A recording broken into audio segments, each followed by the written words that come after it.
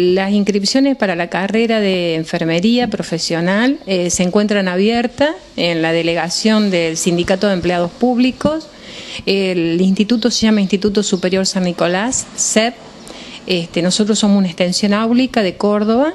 La carrera depende, nuestro instituto depende de la enseñanza superior privada, que es la DIPES, y la inscripción se encuentra abierta hasta el día 23 de noviembre. O sea que falta poco tiempo. Exactamente, nosotros la DIPES nos pide que cerremos la inscripción el día 23 de noviembre.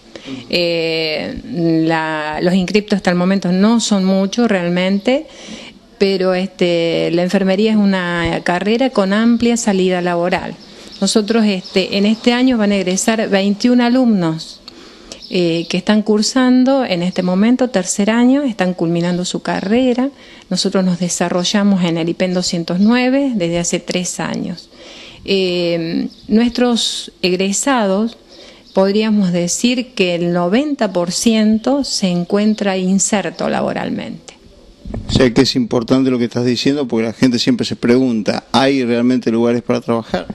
Enfermería dentro del equipo de salud es el recurso humano con más déficit, no solamente a nivel este, de Marco Juárez, sino que es a nivel nacional y los otros días este, leyendo una estadística a nivel de América Latina, es el recurso humano con mayor déficit.